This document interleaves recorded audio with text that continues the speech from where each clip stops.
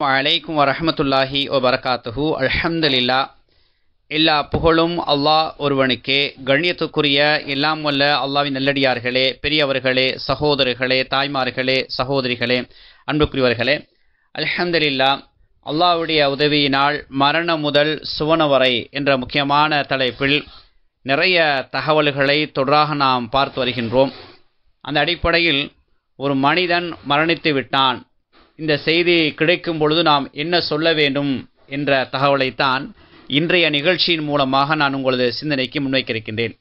அல்லாஹாலா குரானில் நூற்றி ஐம்பத்தி அதாவது ரெண்டாவது அத்தியாயம் நூற்றி ஐம்பத்தி ஆறாவது வசனத்தில் இப்படி நினைவுபடுத்துகின்றான். அல்லதீன இத அசாபத்துஹும் முசீபத்துன். காலு இன்னா லில்லாஹி வ இன்னா இலைஹி ராஜிஊன்.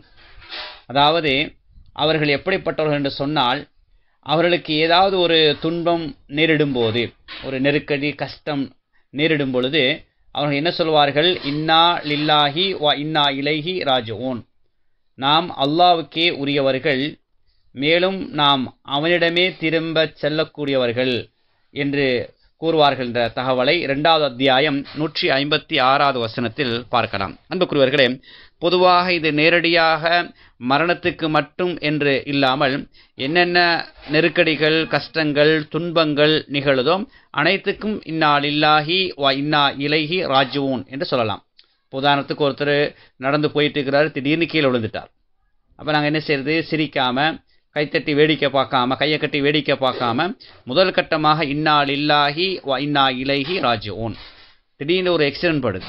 எக்ஸிடென்ட் படுற நேரத்தில் வந்து முதலாவதாக இன்னால் இல்லாஹி வா இன்னா இலைஹி ராஜுவோன் திடீர்னு கரண்ட் போயிடுச்சு இப்படி திடீர் திடீரென்று ஒரு கஷ்டம் நெருக்கடி பிரச்சனைகள் நம் கண்முன்னே வரும் பொழுது உடனே நாங்கள் என்ன செய்யணும்? இந்நாள் இல்லாகி வா இன்னா இலகி ராஜுவும் என்று சொல்லக்கூடிய அந்த வளமை அந்த பழக்கம் இருக்கணும். அந்த அடிப்படையில் தான் மரண செய்தியை நாங்கள் கேட்டவுடன் அதுக்கு நாங்கள் என்ன செய்யணும்னு சொன்னால் நம்ம எல்லாம் அல்லாவுக்குரியவர்கள் அல்லாட்ட தான் நாங்கள் எல்லாரும் போக போகிறோம் அவரும் போயிட்டாரு நாங்களும் போக போகிறோம் என்ற அடிப்படையில் அந்த வார்த்தையை சொல்லக்கூடிய பழக்கத்தை அமைத்துக்கொள்வோம் இது நாங்கள் சின்ன பிள்ளையிலிருந்து எல்லாருக்கும் வீட்டில் வந்து நடைமுறையில் இருக்கணும்.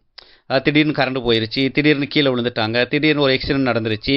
இப்படி என்றே சின்ன பிள்ளைகளுக்கு நாங்கள் பயிற்சியை கொடுத்து பெரியவங்களும் இப்படி சொல்லக்கூடிய பழக்கத்தை அமைத்துக்கொள்ளும் என்று சொன்னால் இந்த மரண செய்தி கேட்கும் பொழுதும் தானாக இந்த சொல் வரக்கூடிய ஒரு நிலையை நாங்கள் உருவாக்கி கொள்ள முடியும். எதையெல்லாம் மார்க்கமாக படிக்கின்றோமோ கேட்கின்றோமோ விளங்குகின்றோமோ அதையெல்லாம் உள்ளத்தில் இருத்தி வாழ்க்கையின் நடைமுறைப்படுத்துவதற்கும் கடைசி நேரத்தில் கடன் இல்லாத நிலையில் லா இலாஹ இல்லல்லா என்ற களிமாவை சொன்னுலக அல்லாஹாலா நம் அனைவரும் மரணிக்க செய்வானாக. அஸ்லாம் அலைக்கும் வரமத்துல்லாஹி வபரகாத்துஹூ